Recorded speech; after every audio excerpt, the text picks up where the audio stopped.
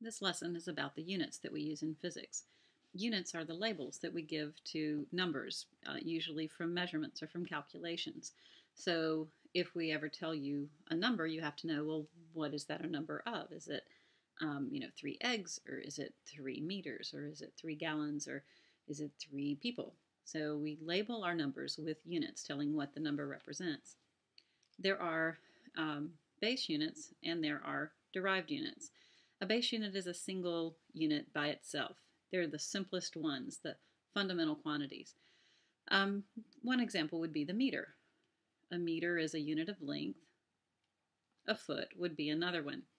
A derived unit would be two or more of these base units used together. So if I uh, represent a speed with meters per second or miles per hour, that would be a derived unit. In science, we always use the International System of Units. These are specific units that have been chosen by scientists, and everybody around the world uses these same units. And that way, when we report data and someone from some other place reads it, it's understandable to them. They know what the numbers mean because it's the same units that they use. Well, what are the seven base units that we use in science? In order to represent length, we use the unit the meter the symbol that we use for the meter is lowercase m. For mass, and mass is not the same thing as weight, mass is the amount of matter in something. And for mass, the SI unit is the kilogram. And the symbol for kilogram is kg. For time, we use the second and the symbol that we would use to label something that is seconds would just be a lowercase s. For temperature, we use the Kelvin. And the symbol for a Kelvin is K. Now you may be familiar with other temperature scales. Um, you've probably used degrees Fahrenheit, and you've probably used degrees Celsius. Um, we will never use Fahrenheit in a physics class, we may occasionally use Celsius. The conversion from Celsius to Kelvin is very simple. But one little note, it's degrees Celsius, but it's kelvins. There's no degree symbol with a Kelvin. The amount of something is the mole. And the abbreviation for mole is simply MOL, because taking that E off makes it so much more convenient. Um, luminous intensity is the candela,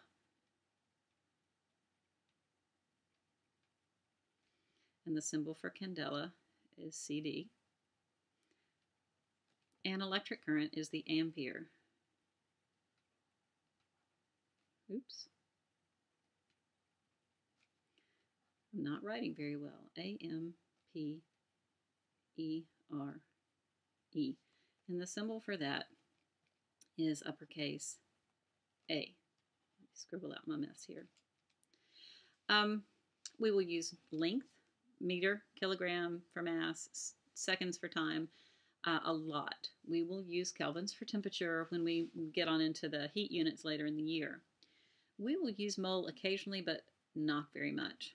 You will probably never see candela because we don't discuss luminous intensity in this class, but we will see amperes um, towards the end of the year when we do electricity and magnetism.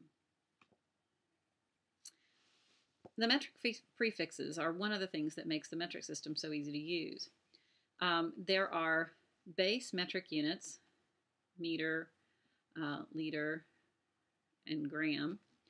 Uh, and if you want a smaller unit, you don't change to a whole other unit, you just add a prefix, meaning a fraction of a meter. Or if you want a bigger unit, you add a prefix, meaning some multiple of a meter. So there's no inches, feet, and yards. It's meters, kilometers, centimeters, millimeters. So you add a prefix to the base unit to get other sizes of units.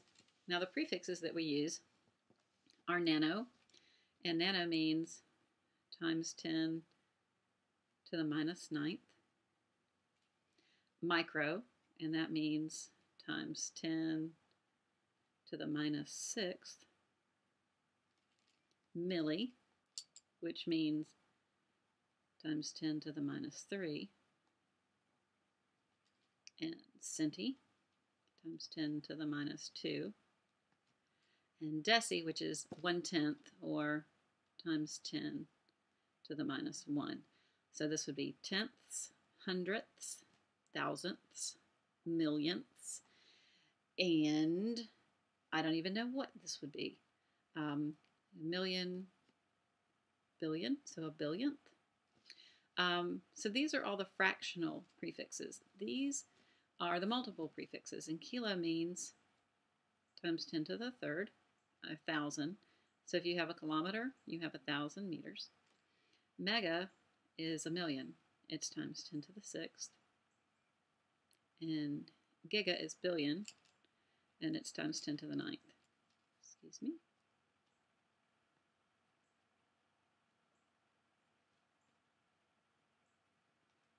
Let's see if I can make this look like a 6. There we go. Okay, so if we wanted a thousand meters, that would be a kilometer. Uh, if I wanted a hundredth of a gram, that would be a centigram. So the first letter is the prefix and the second letter is the base unit. Now if you want to convert within the metric system, it's actually pretty simple because the metric system is multiplication and division by 10. Um, a very simple way to remember it is to write down the prefixes like this. Now, this is going to include a couple prefixes that we haven't talked about. They're ones that we don't use very much, but I have to put them in here to keep all the place values where they should be. Kilo is times 10 to the third, remember.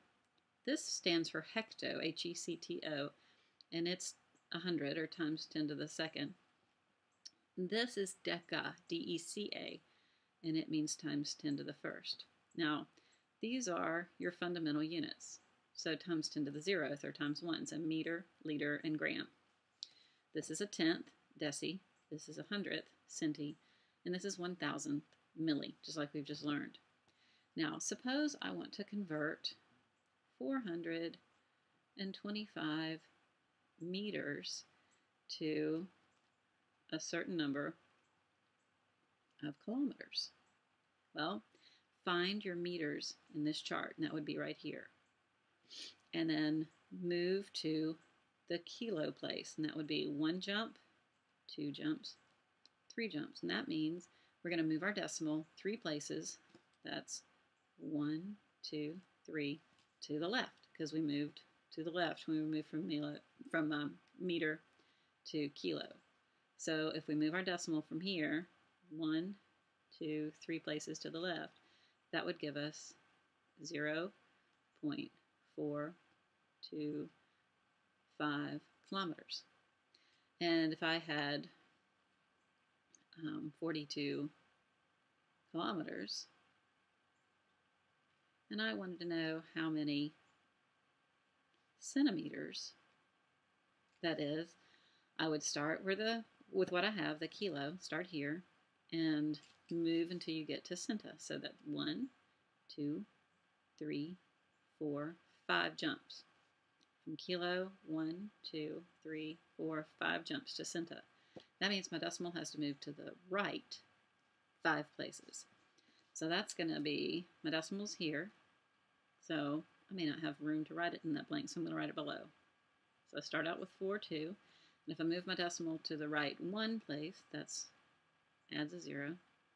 2, 3, 4, and 5 centimeters. That's a bunch, but look, a centimeter is tiny. It's about like half an inch. A kilometer is huge. It's like, well, let's see, a 10 kilometer race is 6.2 miles. So one kilometer is over half a mile. So it's 42 of this really big unit, or let's see, 4 million, no, let's see, one, two, three.